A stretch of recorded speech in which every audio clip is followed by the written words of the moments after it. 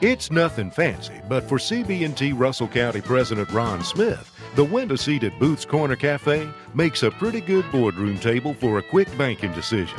Because for Ron, personal banking is just that personal.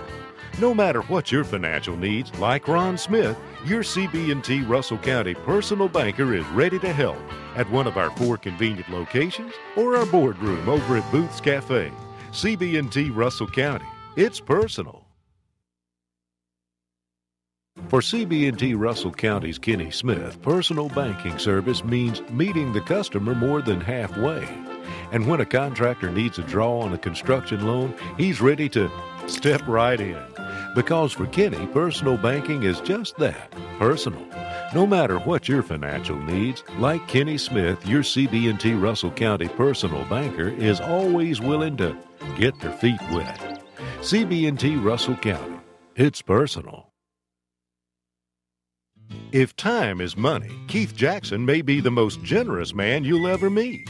Not because he's executive vice president of CB&T Russell County, but because few people are as charitable with their time and talents. Giving back to the community. That's what personal banking service is all about, right?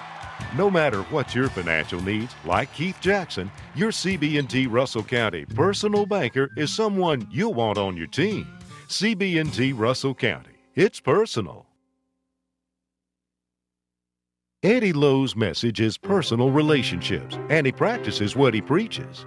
As Senior Vice President of CB&T Russell County, Eddie donates two evenings a month to conduct free banking workshops at local churches.